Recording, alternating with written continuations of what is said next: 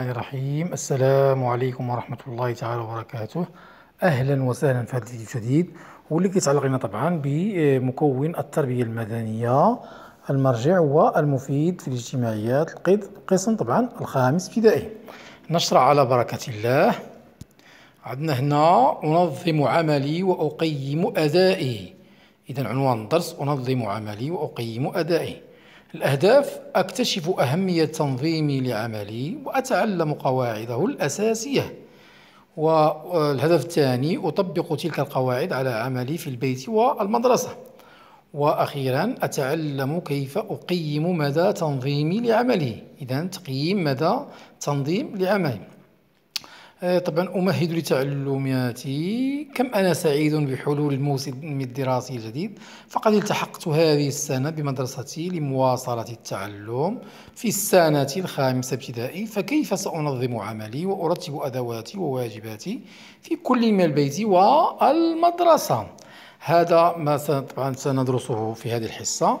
أشتغل وأتعلم. إذا النشاط الأول أكتشف أهمية تنظيمي لعملي وأتعلم قواعده الأساسية. نعم أتعرف أهمية تنظيم العمل في التحصيل الدراسي. إذا ما أهمية تنظيم العمل في التحصيل الدراسي؟ ألاحظ الرسم وأقرأ الجوال الحوار له مصاحب له. نعم لاحظوا علي علي قال لقد حان وقت المدرسة وأنا لم أعثر بعد على دفتري.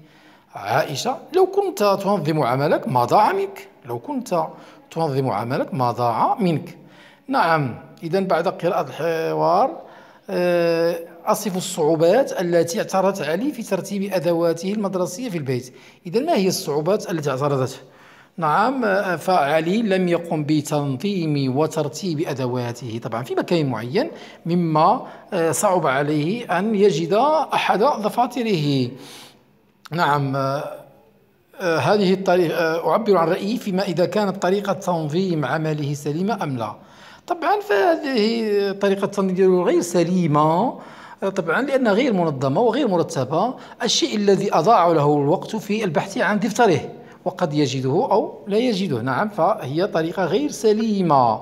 لو كنت مكان علي أو عائشة ما التصرف الذي يلزم القيام به لتفادي مثل هذه الوضعية؟ يعني لو كنت مكان عالي لقمت بوضع الكتب في مكان والدفاتر والأدوات في مكان خاص معين بشكل مرتب. حتى طبعا عندما أريد أن أبحث عن كتاب أو دفتر فأجده بسهولة. فهنا علي لم يرتب ولم ينظم كتبه وأدواته. نعم أه لاحظوا هنا الصورة هذه. ماذا يفعل هؤلاء الأطفال. نعم ربما يتشاجرون آه، آه، لا لا ينتبهون إلى الأستاذة. فهناك نوع من الفوضى نوع من الفوضى في الوقت الأستاذة انتبهوا كيف يمكن أن نعمل في مثل هذه الفوضى؟ طبعا آه، يصعب أو يتعذر القيام بأي عمل في ظل هذه الفوضى. لاحظوا التلاميذ غير مكترثين ولا ينتبهون إلى الأستاذة فيتشاجرون أو يتناقشون بينهم دون احترام للأستاذة. أصف حالة الفصل الدراسي وتصرفات التلاميذ. نعم قلنا التصرفات ديال التلاميذ فهي تصرفات غير سليمة وغير سيئة. فطبعا هناك عدم احترام فيما بينهم وعدم احترام للأستاذة. أبين ما إذا كانت طريقة عمل منظمة. طبعا طريقة العمل ديالهم غير منظمة غير مرتبة. فهمتي؟ تؤثر على التحصيل الدراسي. آه نعم تؤثر على آه نعم سنرى آه هنا قلنا أتعلم القواعد الأساسية لتنظيم العمل. ما هي القواعد الأساسية لتنظيم العمل؟ أتمعن في مكون الخطط. سنرى الخطط. نعم ها الخطط هي؟ نمشيو ليها. لاحظوا الخططاء عندنا مجموعة من الخطوات الأساسية لتنظيم العمل. الخطوة الأولى هي كما ترون آه، التدبير يقولون التدبير الجيد للوقت لتحقيق الأهداف المرسومة. إذا طبعا لابد من تدبير جيد للوقت لاستغلاله بكامله. فوضع طبعا جدول زمني طبعا ينظم لنا الوقت ومما يسهل تنظيم العمل. آه، الخطوة الثانية التخطيط لإنجاز العمل. يعني خصنا نوضعوا واحد جدول زمني للأنشطة. نديروا مثلا جدول زمني من الثامنه العاشره ماذا نفعل؟ من العاشره آه، هناك جدول زمني معين ل طبعا آه، لإنجاز العمل مما يساعد على تنظيم العمل. ثالثة تحديد المهام يعني الأنشطة ذات الأولويات. فطبعا هناك أنشطة مستعجلة وأنشطة أقل استعجالا وأنشطة تنجز فيما بعد. فمثلا آه، غدا عندنا مراقبة مستمرة فينبغي حفظ دروس مراجعة الدروس تتعلق بذلك وعندنا مثلا بحث آه، في الشهر القادم عندنا نشوفوه. فطبعا آه، فهي أقل استعجالا مقارنة مع غدا عندنا واحد مثلا استظهار لصورة قرآنية أو لإنجاز مراقبة مستمرة. فهناك أنشطة مستعجلة وأنشطة أقل استعجالا وأنشطة تنجز فيما بعد. اذا ثم لابد لتنظيم العمل توفير الأدوات وظروف العمل. ادوات ضرورية وتوفير ظروف العمل يعني مكان هادئ بعيدا عن الضوضاء بعيدا عن الفوضى مما يسهل القيام بإنجاز الأعمال. فهذا يدخل في تنظيم العمل. الإنجاز المرحلي يعني التدرج في التنفيذ. طبعا لا يمكن أن ننجز الانشطه في دفعة واحدة وهناك تدرج. ثم تقسيم الإنجازات ومستوى الأداء. تقييم الإنجازات ومستوى الأداء. فنقوم بتقييم الإنجازات يعني آه، فنقارن هل قمنا آه، طبعا بهذه الإنجازات أم لا أم ينبغي تحسين طبعا تنظيم العمل لكي نقوم بإنجاز العمل. فرجعوا لهنايا.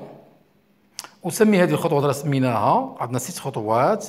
قلنا التدبير جيد الوقت تخطيط إنجاز العمل تحديد المهام الانشطه الأولوية توفير الأدوات ظروف العمل إنجاز المرحلة يعني التنفيذ التدرج في التنفيذ وتقييم الانجازات ومستوى الأداء. فهل نحن قمنا ب آه، طبعا كان واش كان أداء حسنا أم دون المتوسط أم ممتاز؟ نعم أه فأقول هنا أبين فائدة تنظيم العمل في تحقيق الأهداف المرسومه اذا آه، فتنظيم العمل في تحقيق الأهداف المرسومة يؤدي إلى طبعا إلى نتائج إيجابية أو حسنة فيكون التحصيل الدراسي جيد آه، هذا يساعد ويمكن من التحصيل آه، التحصيل الدراسي الجيد. نعم آه، هنا قالنا أطبق تلك القواعد على عملي في البيت والمدرسة. القواعد نطبقها فين في البيت والمدرسة. لاحظوا هذه الصورة هذه. ماذا تفعل هذه البنت؟ نعم فهي ترتب طبعا فراشها تقوم بترتيب فراشها وهذا الطفل ماذا يفعل؟ نعم في الوثيقة خمسة يقوم بمراجعة أو مذاكرة دروسه طبعا في مكان هادي بعيدا عن آه، كل ما يزعجه ولا يجعله يقوم ينجز عمله هنا هذه طبعا ساحة المدرسة هذه مدرسة التلاميذ مصطفون ويرددون طبعا النشيد الوطني هذا العلم ديالنا يرددون النشيد الوطني. هنا يبدو لي أن الأستاذة تقوم طبعا بشرح الدرس للتلاميذ داخل القسم فهذا عمل داخل المدرسة وهذا داخل القسم. وهنا في المنزل يقوم بإنجاز واجباته ويراجع دروسه وهنا البنت في البيت تقوم كذلك الأخرى بترتيب فراشها. نعم ألاحظ الرسمين. الوثيقة نعم قالنا؟ هو الجدول وأقرأ الجدول. ها الجدول. قواعد تنظيم عملي في البيت شيء مهم. استريح بعد العودة من المدرسة. إذا بعد العودة من المدرسة استريح قليلا. ألعب لمدة محدودة. نعم فاللعب مهم بزاف. وأنظم وقتي حسب الأنشطة التي سأقوم بها. فهناك أنشطة مستعجلة متى أقوم بها غدا أقوم بها الآن. أختار مكانا هادئا لإنجاز الواجبات المنزلية كما هذا الطفل. أختار مكانا هادئا لإنجاز الواجبات المنزلية. أطلع على دفتر النصوص وتعليمات إنجاز الواجبات المنزلية. نعم عندي واحد دفتر النصوص أطلع عليه والتعليمات ديال إنجاز الواجبات ما هي الأعمال التي سأقوم بها في المنزل. أنجز واجباتي وأراجع دروسي استعدادا للفروض لفروض المراقبه المستمره نعم. فهذه قواعد تنظيم العمل أجمع أدواتي وأرتبها وأحرص على وضعها في المكان المخصص لها. حتى إذا أردت أن أبحث عنها فطبعا فأجدها بسهولة. أعد حقيبتي مستعينا باستعمال الزمن الأسبوعي. إذا باش نعم أعد الحقيبة ديالي لابد من الرجوع إلى استعمال الزمان وكي لا أنسى بعض الدفاتر وكتب المدرسيه أتناول العشاء. انام مبكرا ولا أسهر. امام التلفزيون جيد. فهذا يؤدي إلى تنظيم العمل. إذا مرضت أستعين بزميلي في الفصل. لماذا؟ ليزودني بالدروس والواجبات المنزلية لنقلها في دفتري لتفادي أي تأخير فاش في التحصيل الدراسي اذا هذه قواعد آه، ينبغي القيام بها في داخل المنزل. حبذا لو أنكم تقوموا بها أبنائي الأعزاء. كذلك فهي كلها مفيدة وكلها جميلة. دابا نشوفوا آه، ديال تنظيم العمل في طبعا مدرسة. نعم. قلنا هنايا داخل القسم تقوم بشرح طبعا الدروس وقلنا في المدرسة نقوم كذلك ب طبعا ترديد نشيد وطني في شكل متص... صفوف مرتبة. إذا داخل المدرسة ما هي آه، كيف أنظم عملي؟ لاحظوا أحترم أوقات الدخول إلى المدرسة والخروج منها والانضباط في الصف. إذا الانضباط في الصف أوقات الدخول للمدرسة والخروج منها لا أتأخر أشارك متعلمي مدرستي في الوقوف باحترام لتحية علم وطني نعم ينبغي احترام تحية العلم الوطني ونردد نشيد. أخرج أدواتي وكتبي طبعا بسرعة داخل القسم وأرتبها داخل دائما فوق طاولتي وأضعها في حقيبتي في نهاية الحصة. هذا داخل القسم وهذا طبعا داخل المدرسة. أحترم أستاذي وأصغي جيدا له ولزملائي المتعلمين. طبعا داخل القسم وخارجه. أشارك في الأنشطة التعليمية وأنجز ما يطلب مني من عمل فردي أو جماعي. نعم. أحترم قانون المدرسة ونظام الفصل الدراسي والعمل الجماعي والقبول بالآخرين من ذوي الاحتياجات الخاصة. أحافظ طبعا على ممتلكات مدرستي وآفات الفصل الدراسي وأضع النفايات في المكان المخصص لها. فهذه قواعد لتنظيم عملي داخل المدرسة. إذا آه، هنا أتعلم كيف أقيم مدى تنظيم العمل. هل آه، تم تنظيم العمل بشكل جيد أم بشكل متوسط أم دون المتوسط؟ نعم أستعين بشبكة تقييم هذه الوثيقة العاشرة. أقرأ مضمونها وأقيم كيفية تنظيم العمل في البيت والمدرسة مستخدما سلم التنقيط. طبعا عندنا لا صفر نادرا جوج آه، كتابة ثلاث أحيانا في الغالب أربعا ودائما خمسة. إذا ثم سلم التنقيط أضع النقط التي أقترحها في الخانة المقابلة لكل عنصر بحسب تنظيم العملي لاحظوا شبكة التقييم هي. نعم. آه، أي تلميذ يشوف هل فعلا يقوم بهذا التنظيم أم لا؟ أخطط دائما في البيت ليكون عملي منظما. واش لا أم نادرا أم أحيانا أم غالبا أم دائما. تضع النقطة المناسبة. أتفحص دائما دفتر النصوص لإنجاز التمارين المنزلية. هل فعلا تقوم بذلك؟ أراجع دروسي في كل مساء استعدادا للحصة الدراسية. أضع أدواتي وكتبي في حقيبة المدرسة مستعينا باستعمال الزمن الأسبوعي. أرتب مكتبتي وحاجياتي عند الانتهاء من العمل هل نقوم بهذا أم لا؟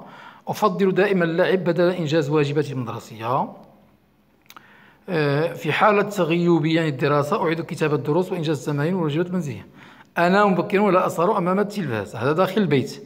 أما في المدرسة أصل إلى مدرستي في الوقت المحدد كل صباح أشارك في تحية العالم بانضباط وروح وطنية.